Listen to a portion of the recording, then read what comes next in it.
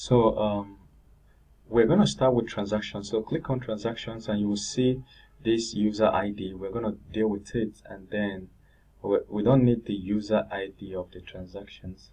Instead, we might need the username, but we don't need user ID. QR code, owner ID, uh, not really.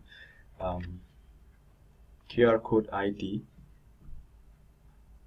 We don't need QR code ID, do we? Payment method, message. We don't need message. Amount, status, action. So basically, we're just looking for things we need to remove to clean up this so that when the person clicks on it, they can now see uh, fully what it is. But I think first of all, we should um, simulate a transaction first. So we'll click on add new. Generally, you know, transaction need to be generated by the system. We don't need people to manually add a transaction, but for now, we're going to do it, uh, a transaction, and uh, we're to have QR code ID we're just to guess one the first QR code message uh, payment successful.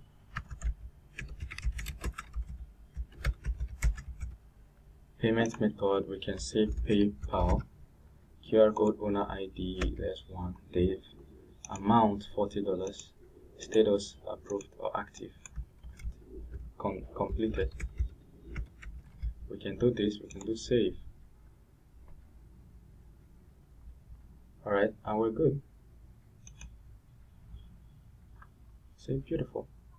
Alright, so we're going to use this as transaction ID. So um, we're not going to delete it. Alright, I will instead, if we go to transactions, roles, we're in transactions. On the transaction, we're going to go to the show fields. So here on transaction ID, I'm thinking we should just do it um, this way. Just call it transaction ID ID this way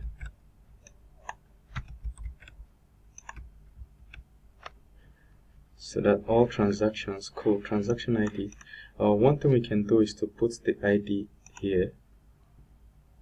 We can just copy this and delete the whole of this. Go to save of course. Go to show blade. In this transaction we're gonna do it this way so that the ID shows on top here. So hmm, now we're gonna do instead of just user ID we're gonna call this buyer.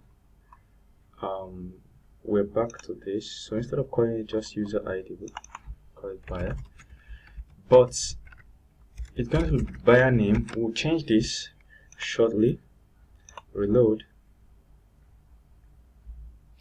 Ah it has logged me out again.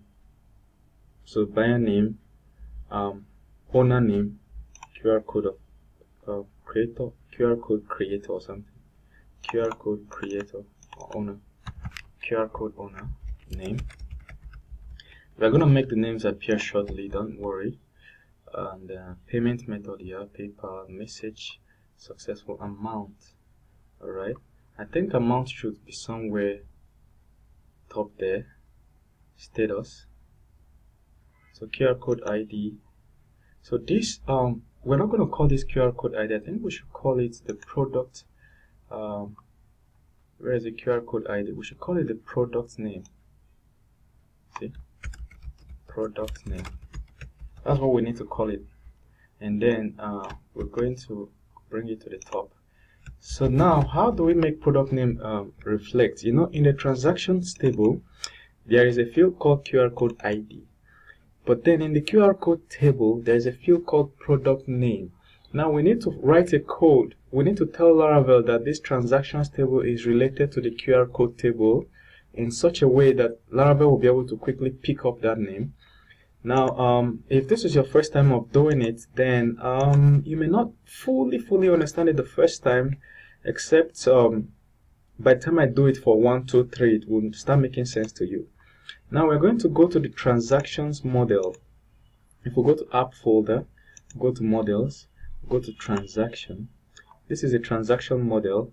Now if you look down, you see that um, it doesn't specify relationships it's going to specify the relationship between the transaction model and the QR code model. Alright, so we're going to do public function. Uh, we're going to call it QR code. And then we're going to specify the relationship. But before I do that, let me show you that in it's available. If this is your first time of reading it then you can go read up more on relationships on Laravel documentation Laravel documentation alright? Make sure you set it to 5.6 if you scroll down to databases eloquent you will see relationships you see? So there are four different kinds of relationship. Just take like few minutes to read through everything. But what we're looking for is one to many. Here so a which model is this? Post model has many comments okay? Um, I think a transaction has one QR code. A QR code has many transactions okay? So it's the other way around. Let's go let's take this to the QR code uh, model first. We need to connect the transactions table uh, model to the QR code model. So let's sort out the QR code first right here in the QR code model at the bottom I'm gonna paste this and we'll change this. Get the transactions. So we're gonna call it transactions. One QR code can have many transactions to it. You understand the concept? So one QR so a webmaster will create one QR code and uh, thousands of people can buy that product using that one QR code. That's the concept. So to connect to the transactions table it will be app inside the app folder inside the app folder we're going to see models. So we do models. Then inside the models we're going to see transaction. That's it. Inside the model we're going to see transaction. All right so we now have to do the um, belongs to many which is um, the other one. Because every transaction I think is one to one every transaction now belongs to one um, QR code you get so we are going to do the belongs to um, looking for it. Belongs to you see every transaction will belong to so we'll copy this. Like I said just take your time read through this page. It's not hard. Once you get the the initial concept that's okay. So get the transaction for the blog post for the QR code. So every transaction will belong to look at the transaction. Every transaction will belong to one QR code. QR code. Get the, the QR code. QR code that owns the transaction.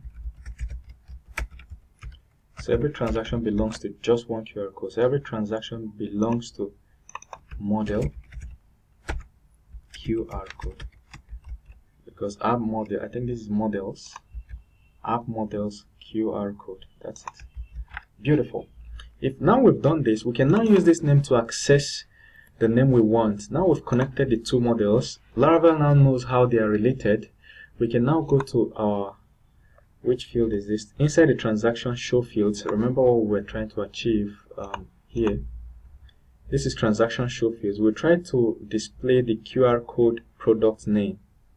Now we can do it easily. Look at it, QR code. Instead of QR code owner, um, where is it? QR code product name. Instead of the QR code product name we're to do QR code QR code and we're to do prod, uh, product underscore name. I think that's the name of the field. If we go to our database just to confirm that that's the name we'll log into our database. Just to confirm on the QR codes we want to be sure that it's product name okay? Product underscore name so we're correct. So if we refresh this we'll now see the product name instead of the id reload. Look at here. Um, product. Okay look at it. Product name is now showing you see? Very beautiful.